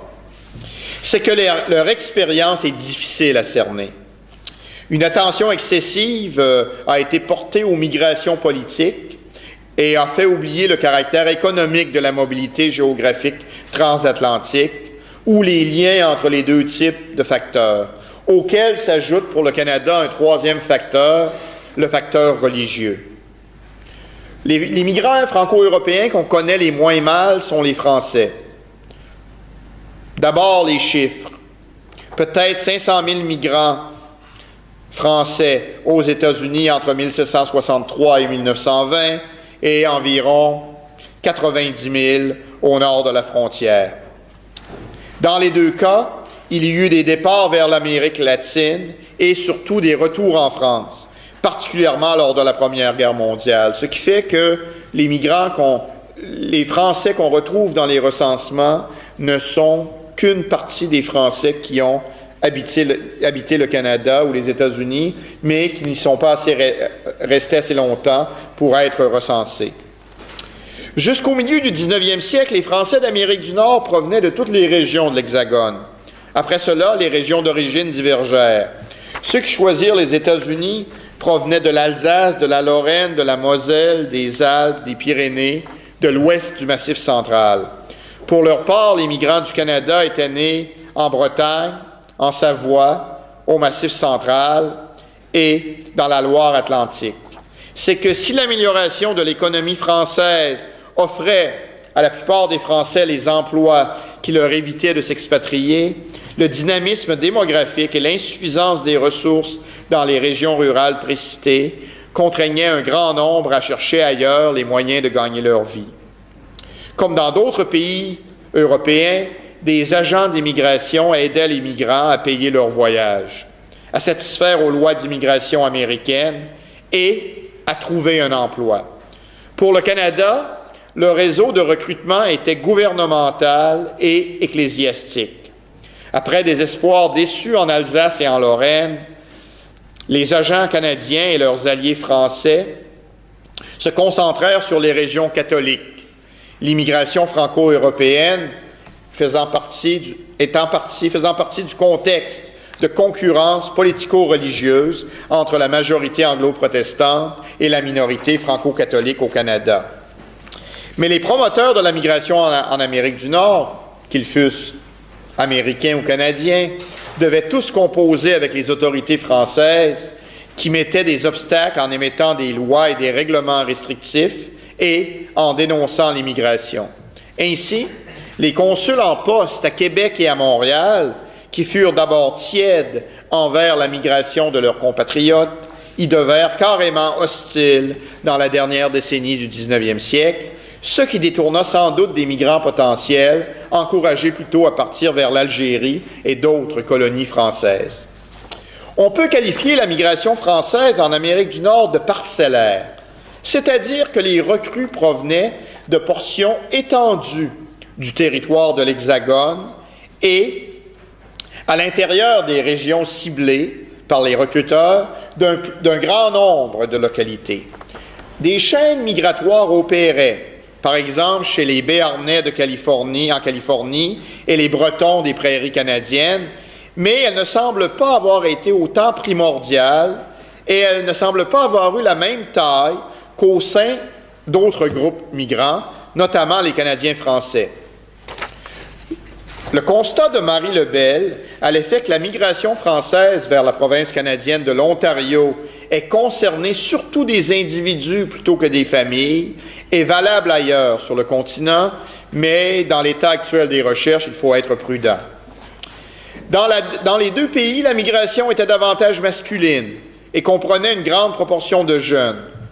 Au sud de la frontière canado-américaine, les occupations des Français étaient variées, mais on observe des concentrations dans le commerce et les services, avec une évolution dans la deuxième moitié du 19e siècle vers les emplois industriels. Au nord de la frontière, c'est le contraire. Les migrants du tournant du 20e siècle étant attirés par la possibilité d'acquérir des terres gratuitement ou à très bon marché dans les provinces des prairies, considérées comme une véritable terre promise. En conséquence, Montréal perdit sa position comme destination canadienne privilégiée des Français entre 1880 et 1940. Aux États-Unis, à la veille de la guerre de sécession, les quatre cinquièmes des Français résidaient dans huit États, le New York en comptant la plus forte proportion, soit 20% Quarante ans plus tard, 70% résidaient dans un rectangle compris par la Nouvelle-Angleterre, le Wisconsin et le Kansas, et il y avait une concentration aussi en Californie qui a été étudiée par Annick Foucrier, qui est ici présente ce soir. Dans certaines villes, la Nouvelle-Orléans, New York et San Francisco, les migrants étaient regroupés dans un quartier, alors que ce n'était pas le cas à Chicago et à Montréal. Ces quartiers étaient des lieux de vie française intenses, et c'est là qu'étaient regroupées les institutions culturelles, les églises, les associations et sociétés diverses, l'hôpital français, etc. C'est là qu'on fêtait habituellement le 14 juillet, euh, toutefois qui n'attirait qu'une partie des Français de la ville et des environs. Au Canada, la migration entretint, entretenant une, une relation étroite avec la religion catholique. Les politiques des gouvernements républicains à partir de 1880 incitèrent des Français à émigrer vers un pays qu'ils considéraient comme montrant davantage de tolérance religieuse. Le lien entre la migration et la religion était particulièrement serré dans les prairies, où étaient établies des colonies catholiques, mais même dans les villes du centre du pays, la très grande majorité des Français étaient catholiques. Plus de 90% à Montréal, 75% à Toronto, même si Toronto est une grande ville anglo-protestante. En plus, depuis 1760, des prêtres, des frères, des sœurs comptaient parmi les migrants vers le Canada. Lors de la Révolution française, 151 prêtres réfractaires, ce qui n'est pas beaucoup, émigrèrent au Québec, ainsi que dans les autres colonies britanniques, dont 40 en permanence. En dépit de ce petit nombre, ils jouèrent un rôle capital. En effet, ces ecclésiastiques, qui devinrent curés, missionnaires, enseignants et aumôniers, augmentèrent du corps les effectifs du clergé catholique. Jeunes, ils imprégnèrent l'Église canadienne d'une nouvelle vigueur, apportant avec eux des traditions qu'ils firent rayonner pendant 60 ans en Amérique du Nord. Plus tard, au milieu du 19e siècle, l'évêque de Montréal vint trois fois en France pour recruter du personnel pour ses paroisses, missions et écoles. Cinq communautés de femmes entendirent son appel, tout comme les Jésuites, les Oblats de Marie Immaculée, les Clercs de Saint-Viateur et la Congrégation de Sainte-Croix. Quelques autres communautés françaises, masculines et féminines, s'implantèrent dans d'autres diocèses. Puis, de 1880 à 1914, ce ne furent pas moins de 2800 religieux et religieuses qui migrèrent au Canada, la très grande majorité au Québec. Leur impact fut, encore une fois, très grand, puisqu'ils s'impliquèrent dans l'enseignement, où ils monopolisèrent les postes de direction. Ce monopole créa parfois beaucoup d'animosité entre Français, Canadiens français, et, et, il y eut aussi des scènes édifiantes de frères de, euh, l'instruction chrétienne qui se battirent, qui, qui en vinrent au cou. En outre, ils jouèrent un rôle socio-culturel important, particulièrement à l'extérieur du Québec, où il n'y eut guère de domaines qu'ils n'investirent pas. La situation aux États-Unis était très différente, mais dans plusieurs articles et dans un livre à venir, Tanguy Villerbu a fait ressortir le rôle majeur joué par les ecclésiastiques français entre les Appalaches et les Rocheuses, ainsi que leurs interactions complexes avec les, les Anglo-Américains, les Amérindiens, les autres immigrants européens, les Canadiens français et les Métis. En outre, ses recherches sur la maison d'édition de jeunesse MAM en Amérique du Nord au tournant du, vers, au tournant du 19e siècle font émerger un monde francophone transatlantique dont on soupçonnait à peine l'existence il y a quelques années encore. Il va sans dire que les études sur les différentes aires francophones d'Amérique du Nord entre 1763 et 1914 ont été effectuées grâce à l'exploitation d'une grande variété de sources qu'il serait fastidieux d'énumérer. J'aimerais tout de même présenter six types de documents susceptibles de faire avancer les connaissances dans la perspective d'une histoire continentale de l'Amérique française, une, euh, une, histoire qui mettrait l'emphase sur les convergences et les divergences entre les divers groupes francophones, ainsi que les rapports qu'ils entretenaient entre eux. D'abord, les recensements. Surtout les recensements décennaux réalisés aux États-Unis à partir de 1790 et au Canada à partir de 1851. Les étudiants de Mme Foucrier savent que c'est le, pain quotidien des historiens sociaux de l'Amérique du Nord depuis presque un demi-siècle. Je parle ici euh, non pas des sommaires statistiques publiés, mais des fiches des ménages recensés qui recèlent d'informations selon les années sur la composition des foyers, le lieu de naissance, l'origine ethnique, la langue, l'occupation, la capacité à lire et à écrire, et j'en passe. Couplés au registre d'état civil, au registre des ports ou des frontières terrestres et à d'autres sources quantitatives, les fiches manuscrites des recensements permettent de reconstituer les populations francophones et elles pourraient servir à établir la cartographie de l'Amérique française à divers moments.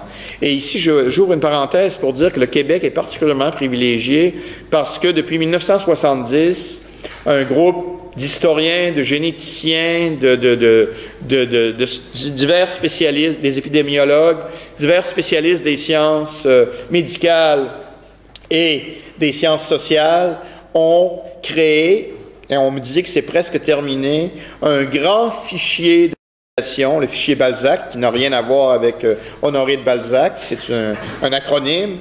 Et ce fichier Balzac, dans ce fichier Balzac, on retrouve tous les actes d'état civil euh, qui ont été passés au Québec, depuis, qui ont été faits au Québec, depuis le début du 17e siècle jusqu'à euh, jusqu'à maintenant.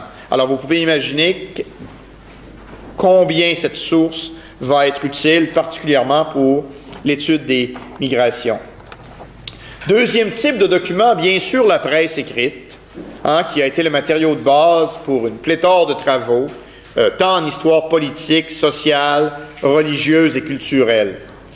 Par contre, les historiens ont peu utilisé la presse écrite pour étudier la circulation des hommes et des femmes, la circulation des produits culturels, la circulation des, idées vers l'Amérique de la France, vers l'Amérique française et en son sein.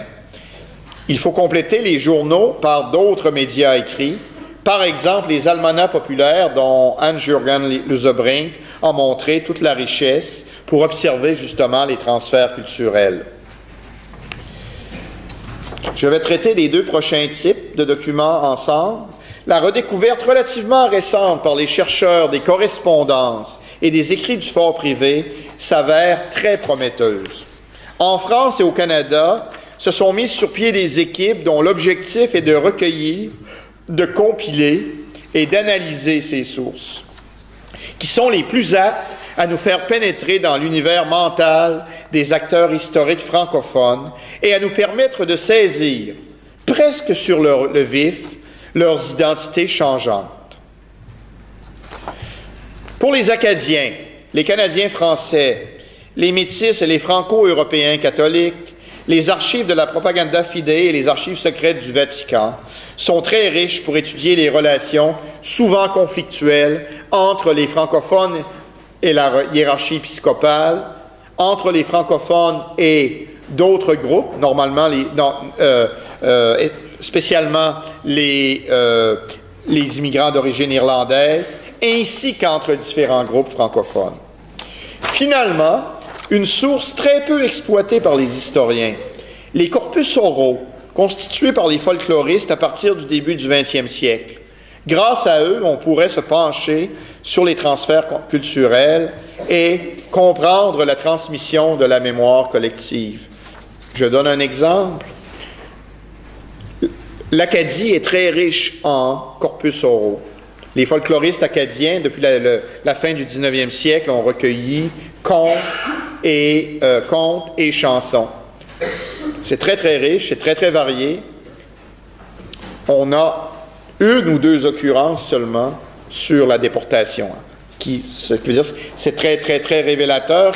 Dans la mémoire collective, la déportation est quelque chose qui est central à, je dirais, à l'identité publique collective acadienne, alors que euh, pour ceux qui ont vécu la déportation et leurs descendants, il ne semble pas y avoir eu de euh, tradition familiale. Et je conclus.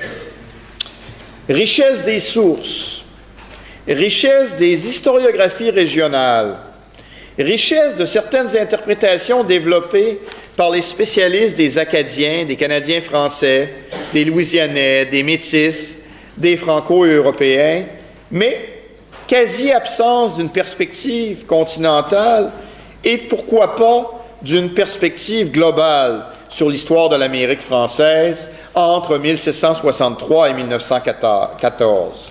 L'Atlas historique que j'ai eu l'honneur de co-diriger se voulait une première étape lorsque nous avons lancé le projet en l'an 2000, mais il n'est paru qu'au début de l'année 2013. C'est le moment d'envisager les prochaines étapes qui ne pourront se réaliser que dans le cadre de collaboration transatlantique. L'appel est lancé. Je vous remercie de votre patience.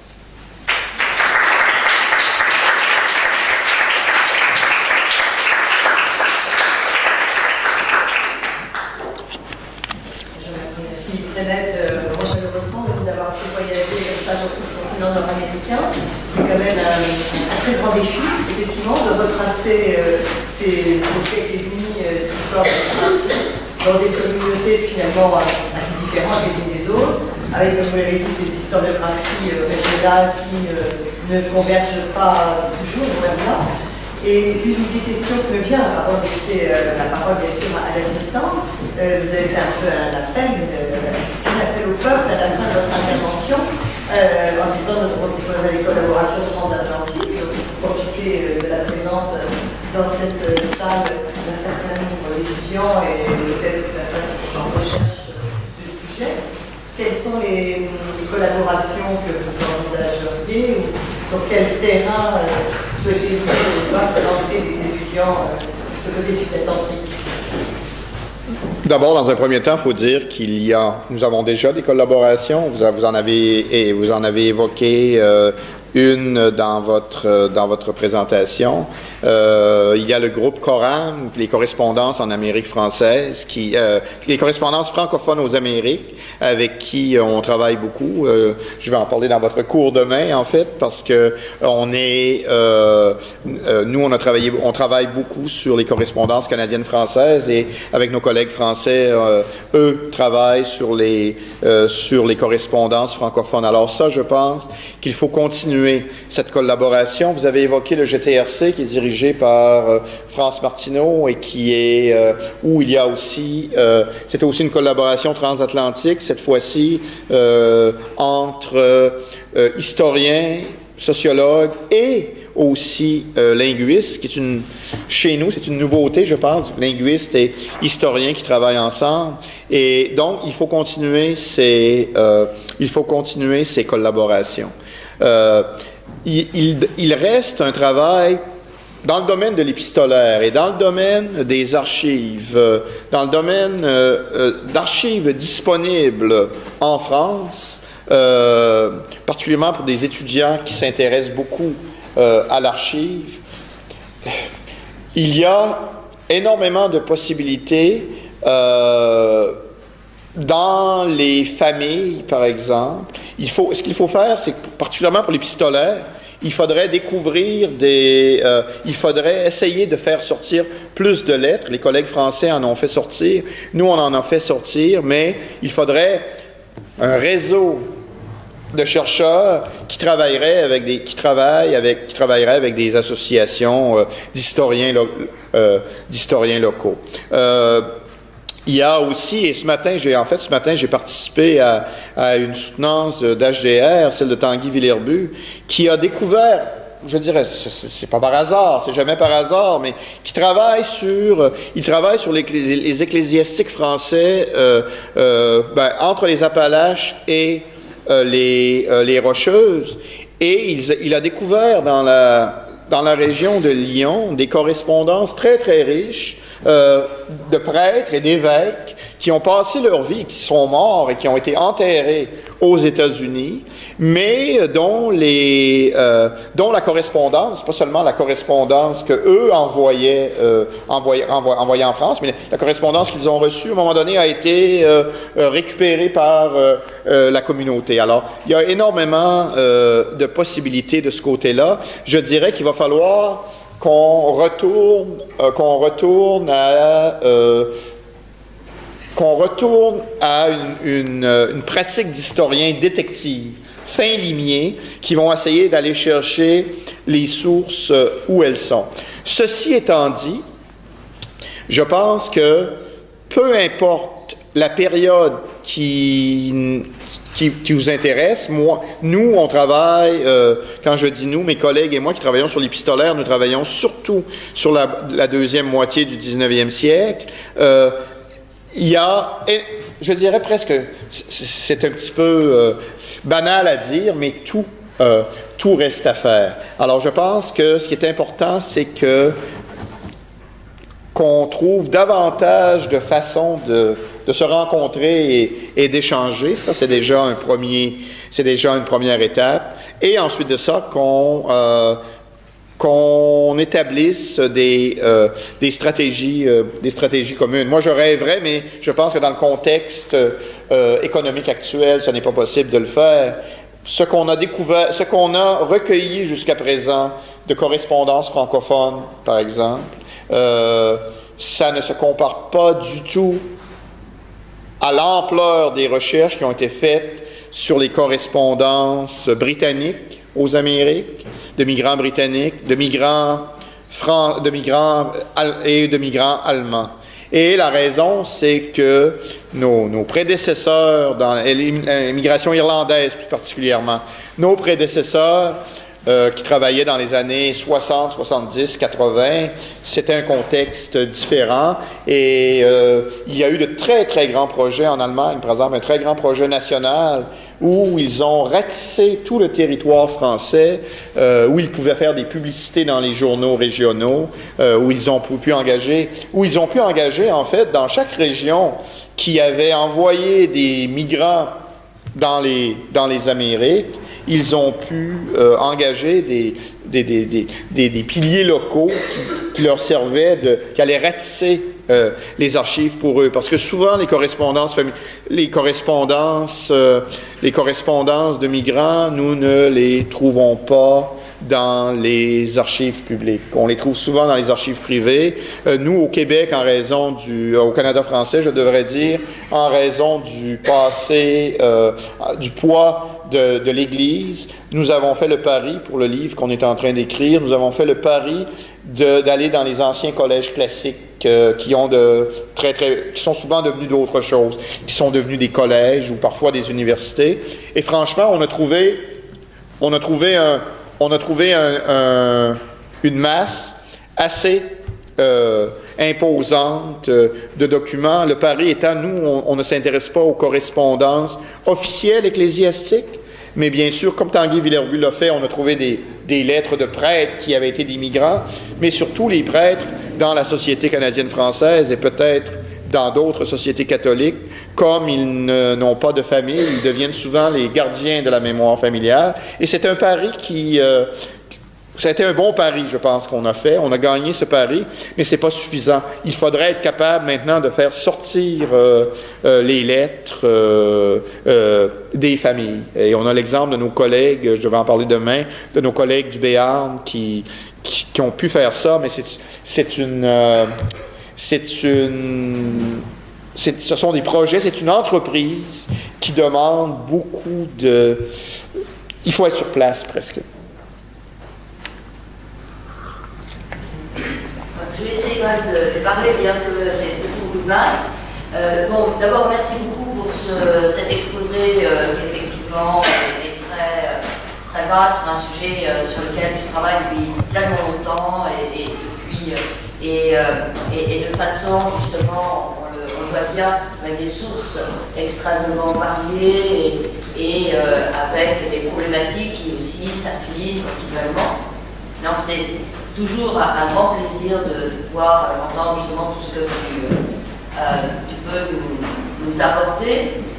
effectivement, bon, merci d'avoir mentionné le travail qu'on fait avec quelques-uns des, des qui restent encore là. Euh, on est en train de faire un grand travail sur, euh, avec des étudiants de master, master 1, euh, un grand travail sur les recensements et les Français qui ont vécu à Chicago.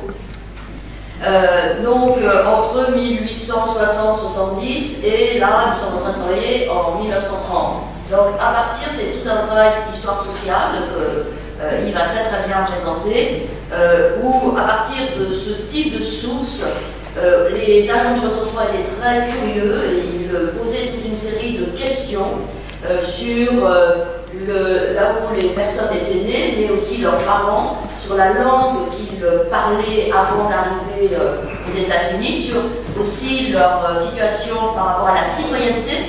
Et là aussi, c'est tout un champ d'études extrêmement important la façon dont les Français, euh, par rapport au pari avec d'autres euh, immigrants, est-ce qu'ils sont plus, est-ce qu'ils retiennent plus ou moins la citoyenneté française? Est-ce qu'ils sont naturalisés plus ou moins rapidement? Euh, Est-ce qu'il y a beaucoup parmi eux d'exogamie, d'endogamie? Est-ce qu'ils peuvent se marier avec d'autres Français? Donc il y a là un champ absolument énorme. C'est vrai que ce sont des terrains sur lesquels il n'y a pas eu beaucoup, beaucoup de travaux, mais c'est aussi parce qu'en France, on a un peu refusé l'idée qu'il y avait une émigration française. Et, peut-être que ça, c'est en train de changer parce qu'actuellement, il y a une forte émigration particulière. Euh, et peut-être qu'en euh, observant cette émigration actuelle, eh bien, euh, des questions vont être posées aussi au passé et que là, un certain nombre, on est toujours très en retard par rapport aux États-Unis, au Canada, à l'Amérique du Nord. Donc peut-être que nous allons pouvoir enrichir euh, nos euh, questionnements de, tout le travail qui est fait à partir de l'Amérique du Nord. Peut-être qu'il va y avoir enfin dans l'opinion publique un peu un relais. On entend encore actuellement dire qu'il n'y a pas eu d'immigration française. Bon, euh, c'est c'est beaucoup moins important que l'immigration, par exemple, des Allemands. Ça, mhm. c'est clair. Les Allemands, c'est une grande émigration du 19e siècle. Les Italiens, une grande émigration de la fin du 19e siècle, début 20e siècle, avant les quotas. Mais les Français, il y a quand même une émigration un peu constante. Et euh, en plus, ils jouent un rôle non négligeable euh, parce qu'ils sont éduqués. Parce que grâce aux lois de Jules Ferry, grâce à il y a cette, euh, cette formation qui ce capital euh, d'instruction qu'ils ont. Et euh, à ce titre-là, ce qui est aussi très très intéressant, c'est les rapports qu'ils peuvent avoir avec les autres francophones. Et là, par rapport à cela, j'ai un étudiant qui travaille sur Woodsocket et sur euh, les, donc à la fois des industries, des usines, des sociétés industrielles fondées par des Français du nord de la France, qui employaient aussi des Belges et des Canadiens français. Alors comment est-ce que tout ce monde-là, francophone, pouvait s'organiser Là aussi, euh, il y a tout un, grand champ d'études dans ces, contacts.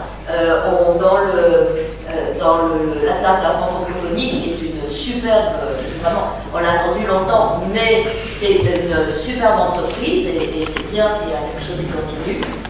Bien, là, on voit aussi qu'il y a des liens entre ces différents francophones qu'ils soient euh, wallons, qu'ils soient euh, euh, des francophones du Valais, ou qu'ils soient francophones canadiens, c'est continuellement, il y a des liens entre ces différents groupes.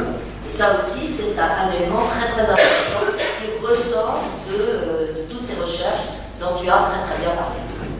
Merci. Et, en fait, pour, parler davantage peut-être du projet, le grand travail de recherche concertée, le GTRC, euh, auquel participe Françoise Gadet, qui est notre antenne française, euh, euh, bien sûr, on s'intéresse beaucoup à la langue, mais on s'intéresse beaucoup au rapport entre. On a choisi des chantiers euh, à travers l'Amérique du Nord et aussi euh, en France, des chantiers où euh, des, des, des, terrains, pas des chantiers, des terrains où il y a toujours plus que un groupe de francophones. C'est pas seulement de dire, euh, genre, il y a une minorité francophone et il y a une majorité anglophone.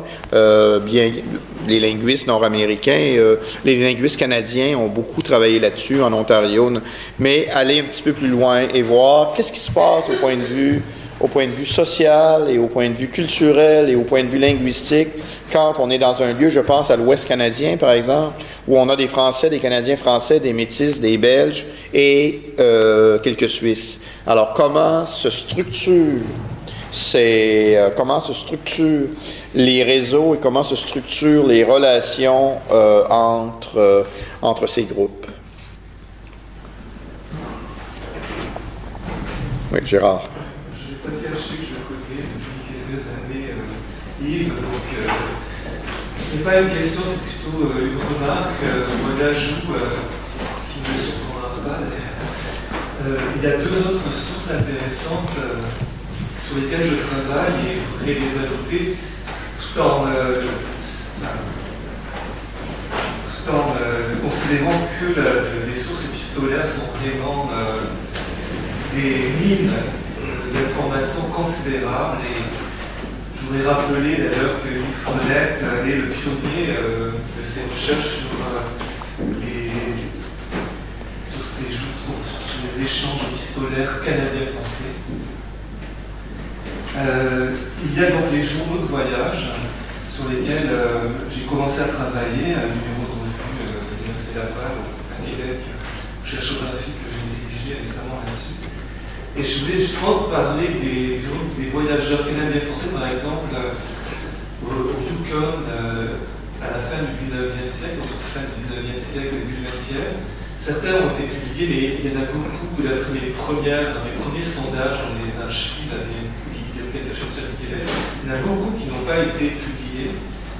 Euh, les journaux de, voyage des religieux canadiens français alors ça, au 19e siècle, c'est quasiment euh, la totalité, enfin, pas la totalité, mais presque.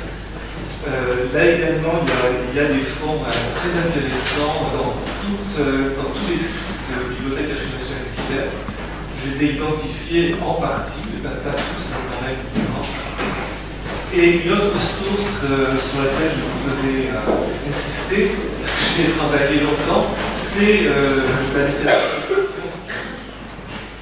alors qui également, euh, ça revêt plusieurs aspects, c'est-à-dire euh, la documentation qui peut, euh, peut trouver, sur laquelle on peut travailler à partir donc, des éléments fictionnels eux-mêmes, tels qu'ils sont présentés par des auteurs plus ou moins connus, donc très connus d'autres comme Jules d'autres beaucoup moins, qui sont des auteurs oubliés, mais c'est intéressant de retenir.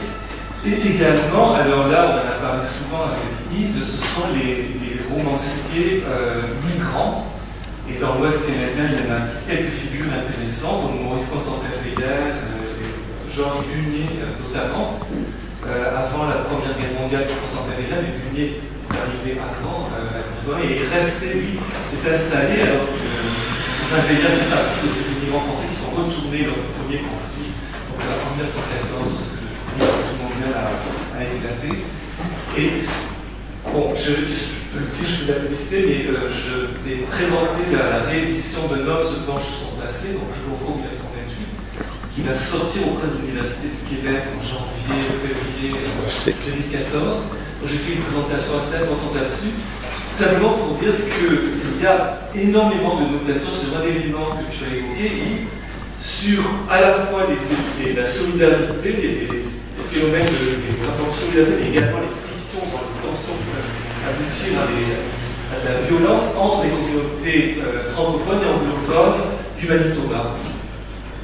Dans ce roman, euh, qui a été pris concours en 1928 de, de Maurice Constantin Veillère, il y a véritablement une dimension sociologique d'analyse des relations entre les, communautés euh, migrantes du Manitoba.